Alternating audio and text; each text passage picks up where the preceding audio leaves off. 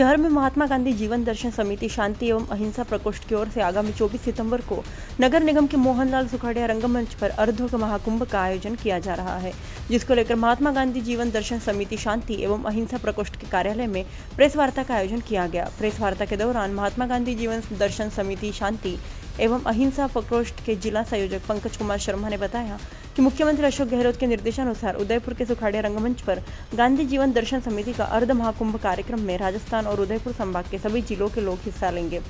साथ ही इस कार्यक्रम में स्वतंत्रता सेनानी और शहीदों के परिवारों को सम्मानित किया जाएगा। इस कार्यक्रम में राजस्थान के मुख्यमंत्री अशोक गहलोत के आने की संभावना जताई जा रही है। राजस्थान के यशस्वी मुख्यमंत्री अशोक गहलोत जी का हम शुक्रगुजार हैं कि 2007 से लगा के 2023 तक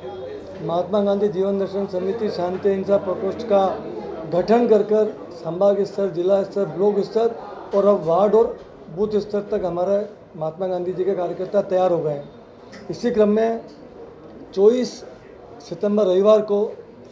हमारा अर्ध कुंभ का प्रोग्राम उदयपुर के नगर निगम मंच पर आयोजित किया जा रहा है, जिसमें उदयपुर ज़िले के पंद्रह ब्लॉकों के हमारे प्रशिक्षणार्थी भाग लेंगे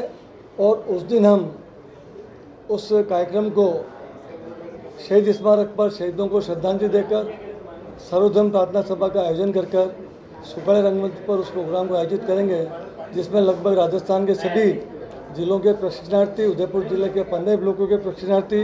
अशोक गहलोत जी और हमारे शांति हिंसा प्रकोष्ठ के निर्देशक मनीष शर्मा जी के आशीर्वाद से इस कार्यक्रम को हम सफल बनाएँगे और मुझे उम्मीद है कि जिस तरीके का रिस्पॉन्स आ रहा है, हज़ार से बारह सौ कार्यकर्ता अर्ध कुंभ के कार्यक्रम में आएँगे और इस कार्यक्रम को सफल बनाएँगे। मैं जिला कलेक्टर साहब, पोसवाल साहब का, हमारे तमाम अधिकारियों का, संभागीय आयुक्त भट्ट साहब का मैं आभार व्यक्त करता हूँ कि समय समय पर उनका इस कार्यक्रम को सफल बनाने में हमें सहयोग मिलता रहा है और आगे भी मिलता रहेगा।